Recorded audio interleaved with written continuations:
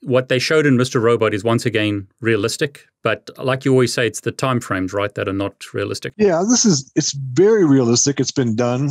Um, there's a lot of research into these devices. Some of that research has been published. You can find the research and be able to do it yourself, but it's time consuming, but somebody's already done it. And so it can be done. Um, the guys who originally did this at Black Hat were um, ISEC partners, did it, uh, and they did it like 2011. So this would have been available to Elliot when the show was made in 2014, yeah. 2015.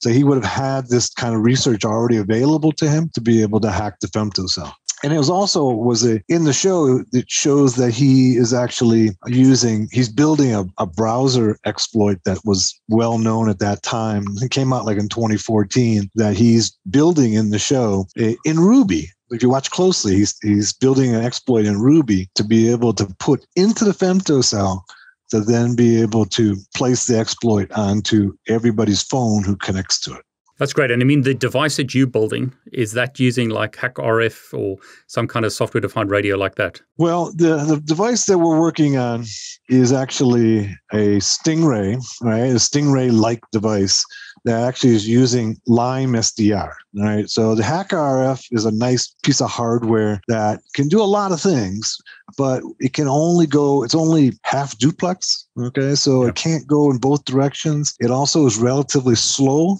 it's half duplex. It only uses USB 2, not USB 3, and it's relatively slow. So we're building with a Lime SDR, which is a lot faster. It's full duplex.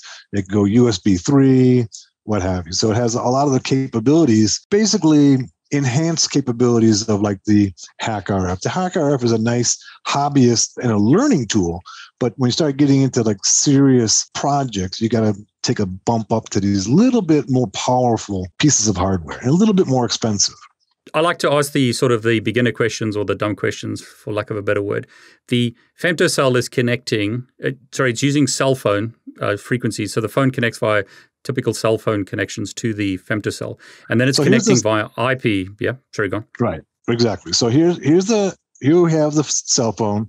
It's connecting to the femtocell. The femtocell then via Ethernet is connecting to the broadband gateway. The gateway then is going via IP, okay, out to the internet to the radio network controller and the whole network of the the uh, mobile carrier. Now the the backhaul on these femtocells is varying. Some of them are private networks and some of them simply use the public internet. So it varies by carrier, but really it's not that important to us because what we're doing is we're intercepting right here at this at this stage right here we're inside this device but there are some people who've worked on trying to intercept this traffic in here. And of course, the when we start talking about building a stingray, essentially what we're doing is building this this whole tower right here with the BTS. They call the macro cell BTS. You're building a cell tower with a an entire cell phone transmission unit.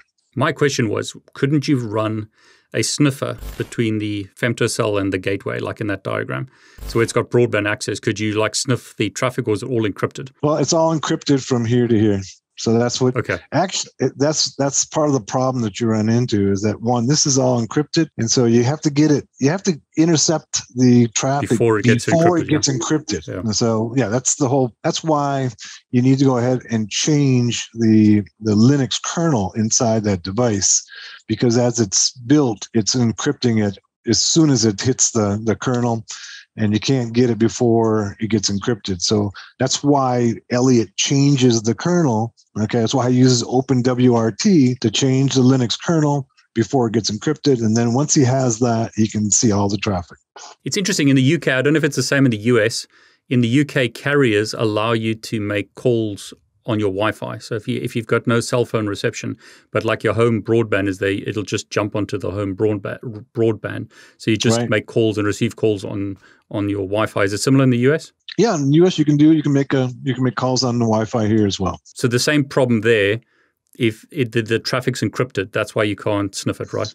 Yeah, the traffic's encrypted there. So they they're mostly in most of the carriers now, especially when you get to 4G. When you talk about 2G and 3G, the authentication and encryption is very weak. Right? When you get to 4G okay. and 5G, it gets much stronger and it's harder to break. Actually, these femtocells are using 3G, so they're a little bit slower than regular traffic. But this is a, this is for people who don't have any traffic in their area.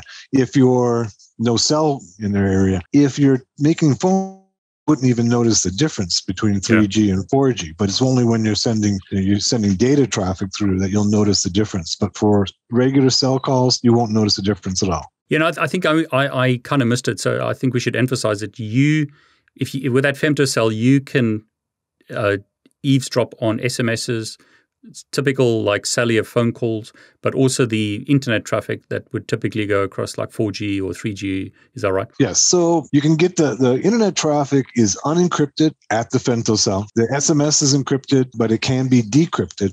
And the voice traffic can be uh, decrypted as well. And this was demonstrated, like you said, at Black Hat 2011, right? I think it was uh, first shown. There's been a number of researchers who have worked on it. The folks at ISEC Partners demonstrated it at Black Hat 2011, and then somebody else did it in 2010. And then there's been a, a number of researchers who have continued this research in recent years. Uh, there's a fellow in China who's been doing, you know, he's been tearing apart all these femtocells around the world, and and basically he says they're all they're all vulnerable to being hacked, right?